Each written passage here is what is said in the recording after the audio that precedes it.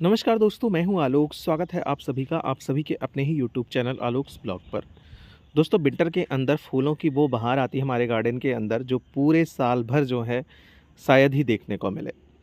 इस सीज़न के अंदर इतने सारे फ्लावरिंग प्लांट अब आने लगे हैं कि अगर हम सारी वैरायटीज़ को लगा लें तो हमारा गार्डन गार्डन कम, बल्कि एक खूबसूरत सा जो है फ्लावर बेड जो है वो बन जाएगा। तो आज के इस वीडियो के अंदर मैं अपना जो फ्लावरिंग अरेंजमेंट है मतलब ये विंटर फ्लावरिंग प्लांट्स को रखने का जो तरीका है, अभी जिस तरीके से मैंने इनको रख रखा है, वो दिखाऊँगा। और साथ ही साथ मेरे गार्डन के अंदर क्या चल रहा है, किन प्लांट्स के अंदर फ्लावरिंग शुरू हो गई है किसमें जो है आगे चलकर अच्छे ब्लूम्स आने वाले हैं, वो सब आप लोगों को इसी वीडियो के अंदर दिखाऊँगा। वीडियो में लास्ट तक बने रहिएगा, पसंद आ जाए तो लाइक, कमेंट और शेयर भी ज़रूर कीजिएगा। चैनल पर न्यू है तो प्लीज़ चैनल को सब्सक्राइब करके बेल आइकन को ज़रूर प्रेस कीजिएगा, जिससे मेरे आने वाली हर वीडियो की नोटिफिकेशन आप लोगों को सबसे पहले मिले। मैं बिल्कुल इधर से शुरू करता हूँ। यहाँ पर जो है यहाँ पीछे की साइड में ये मेरे वो पेरेनियल प्लांट्स रखे हुए हैं, जिनके अंदर फ्लावरिंग जो है अब रुक गई है। तो मैंने इनको सबसे पीछे की साइड में रख दिया है। आगे ये दो प्लांट मेरे अगेव के रखे हुए हैं और यहीं से फिर उसके बाद मैंने अपने विंटर फ्लावरिंग प्लांट्स को रखना शुरू कर दिया है। ये देखिए, बहुत ही प्यारा हाइब्रिड हिबिस्कस जो है वो पिंक कलर का खिला हुआ है और ये रेड कलर के हैं। इसमें तो कई सारे फ्लावर्स एक एक साथ जो है वो आते रहते हैं।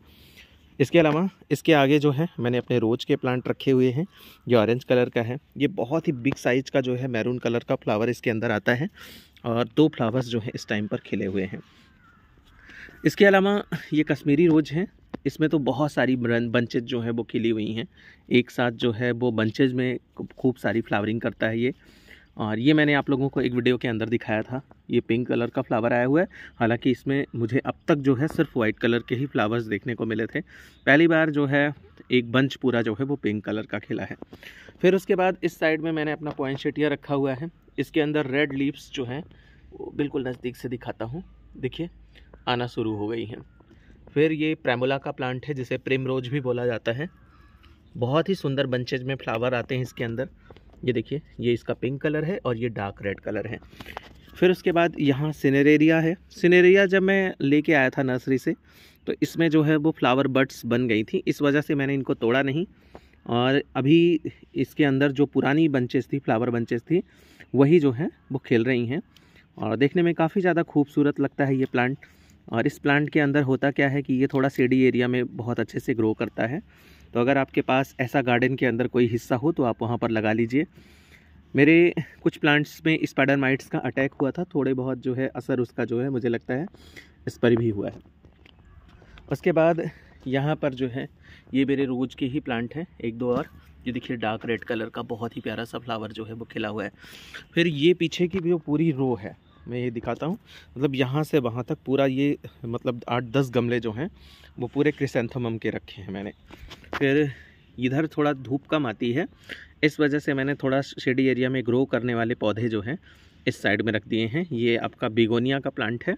बिगोनिया जो है, ये विंटर वाला है। इसके अंदर आपको red colour, pink colour white में देखने को मिलेगा, लेकिन मेरे पास दो ही कलर हैं, रेड और वाइट और अभी छोटे छोटे पौधे हैं धीरे धीरे करके ग्रो करेंगे तो अच्छी फ्लावरिंग देखने को मिलेगी। उसके बाद यहाँ क्रिसेंथमम के आगे जो है, मैंने ये पूरी रो जो है, आपकी सेल्विया की रखी हुई है। सेल्विया मेरे काफ़ी अच्छे ग्रो कर रहे हैं और इस बार सेल्विया में जो है, वो रेड के साथ जो है वाइट भी एक कलर मिला है, एक जो है ऑरेंज और वाइट का कॉम्बिनेशन मिला है और एक डार्क मैरून कलर का मिल गया मुझे। उसके आगे यहाँ पर जो है, ये डेंथस के सारे गमले हैं। और डेंथस मैंने ग्राउंड पर बहुत सारे लगाए हैं। मतलब कुछ नहीं तो हंड्रेड प्लांट्स जो हैं वो मेरे ग्राउंड पर मैंने लगा दिए हैं। पिंचिंग वगैरह भी कर ली है। अब खाद वगैरह देकर जो है उनको फ्लावरिंग के लिए तैयार करना है। तो मे भी जो है वो जनवरी में फ्लावरिंग पर आ भी जाएँगे। यहाँ डेंथस जो है एक, दो, तीन, चार, पाँच और छः गमले हैं मेरे पास। और इस बार संयोग से जो है ये छः जो है वो डिफरेंट कलर के मिले हुए हैं। थोड़ा थोड़ा पिंक के अंदर जो है अलग अलग शेड है, लेकिन देखने में कभी कभी वो एक जैसे लगते हैं। फिर उसके आगे यहाँ पर जो है, मेरा ये सारा जो है, ये आपका बरबीना का प्लांट है। बरबीना में दो पॉट रेड हैं, एक ये वाइट कलर का है, एक ये जो है डार्क पर्पल है और एक ये लाइट पर्पल कलर का है। फिर उसके बाद रेड मतलब रेड जो है वो तीन चार पॉट हो चुके हैं। फिर यहाँ सबसे आगे वाली रो में ये सारे रैनन कोलस के प्लांट हैं। रैनन कोलस मैंने बल्ब से ग्रो करा था और इसकी वीडियो भी आप लोगों के साथ शेयर की थी। और मैंने फिर से जो है उसी सेलर उन्हीं सेलर से जो है फ्रीसिया की बल्ब ली है ट्यूलिप की बल्ब ली है, और आपका कला लिली की बल्ब ली है। तो जब भी मैं लगाऊँगा तो आप लोगों के साथ ज़रूर शेयर करूँगा। उनकी जर्मिनेशन रेट काफ़ी अच्छी थी उनके बल्ब्स की तो मैंने फिर से जो है वो दोबारा ऑर्डर कर दिया। तो ये रैनन कुलस के छः कलर हैं, चार स्पॉट के अंदर लगे हैं और दो जो है स्पॉट के अंदर थोड़ा लेट ग्रो कर रहे हैं, पता नहीं क्यों, लेकिन ये जो है ज़्यादा घने ग्रो कर रहे हैं। फिर यहाँ से इसके पीछे वाली रो में ये सारे मैरीगोल्ड के प्लांट हैं। मैरी ये मैंने बाद में लगाए थे। बिल्कुल छोटे छोटे पौधे और ये सेम कलर के मुझे मिल गए हैं। टोटल मेरे पास जो है वो पाँच पौधे थे। एक मैंने ये सिंगल इसके अंदर लगाया था और दो दो पौधे इनके अंदर। इसी वजह से ये ज़्यादा बुसी दिखाई दे रहा है। हालाँकि जो है मैंने पिंचिंग वगैरह करके काफ़ी बुसी जो है बना ही लिया है इनको। फिर यहीं से मेरी गोल्ड की जाफरी वैरायटी जो है, ये पूरी मैंने अपनी रखी हुई है। और इनके सीड्स भी मैंने ग्रो करे थे निकाल निकाल के तो सारे बहुत अच्छे से ग्रो भी हो गए हैं। तो ये सारे मैरी गोल्ड हैं जैफरी वैरायटी के। इसमें काफ़ी वैरायटीज़ आपको देखने को मिलेंगी। ये यहाँ पर एक मतलब इससे मिलती जुलती हैं। दो, देखिए, बिल्कुल ऐसे ही फ्लावर खिल रहे हैं। बाकी एक, दो, तीन, ये डिफरेंट है। फिर इसके पीछे कैलेंडुला है। कैलेंडुला का एक प्लांट जो है वो कंटिन्यूसली फ्लावरिंग कर रहा है, बाकी के अंदर जो है वो बर्ड्स बन रही हैं और कितनी हेल्दी हैं ये प्लांट ये आपको देखने में ही लग रहा है। इसके पीछे भी सारे जो है क्रिशंथमम रखे हुए हैं। फिर यहाँ पर ये कैलेंडुला के आगे ये एस्टर मैंने रखे हुए हैं। एस्टर का ये प्लांट बहुत ही ज़्यादा हेल्दी है। मे भी शायद ये वैरायटी भी अलग है, बाकी इनके अंदर देखिए, खूब सारी बर्ड्स बन गई हैं। ये फ्लावरिंग पर जल्दी ही आ जाएँगे। एक प्लांट ये थोड़ा मरेला सा था, लेकिन देखिए केयर करने की वजह से अब ये भी थोड़ा हेल्दी सा जो है, वो ग्रो कर रहा है। फिर इधर पीछे मेरी गोल्ड जो है, वो किंग साइज़ के जिसमें फ्लावर्स आते हैं, वो मैंने रखे हुए हैं और ये टोटल जो है, आठ पॉट होंगे। आठ या नौ? तीन तीन छः तीन, दो, आठ। आठ पॉट हैं और पीछे की साइड में ये सारे हिविस्कस ही रखे हुए हैं, इधर भी। और यहाँ पर ये डॉग फ्लावर्स के सारे प्लांट हैं। डॉग फ्लावर में जो है, अभी दो मेरे पास जो खिलने वाले हैं, एक खिल रहा है, ये डार्क पिंक कलर है और ये भी डार्क पिंक है। ये थोड़ा सा अलग शेड दिख रहा है और मे भी शायद यही वाला कलर इसके अंदर।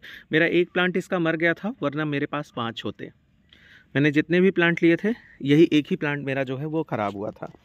इसके बाद ये मेरे सारे पिटोनिया हैं। पिटोनिया अब थोड़ा घने हो रहे हैं और यहाँ से यहाँ तक जिस सारे के सारे पिटोनिया रखे हुए हैं। पिटोनिया में अभी एक प्लांट ये नहीं खिला हुआ है। और अगर देखा जाए तो आ, ये वाला एक प्लांट पर्पल खिला हुआ है। पर्पल में ही ये थोड़ा अलग सा शेड है।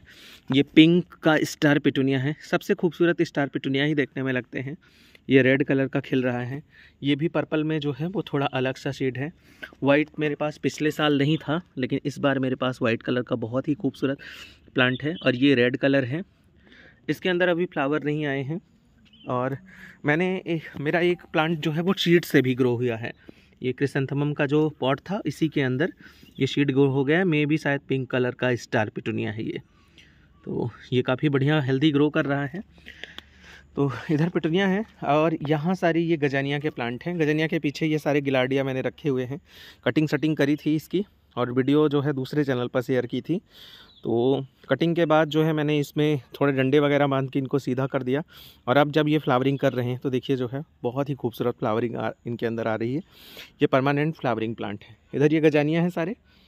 और इधर जो है पैंजी तो मैंने आप लोगों को दिखाया ही था।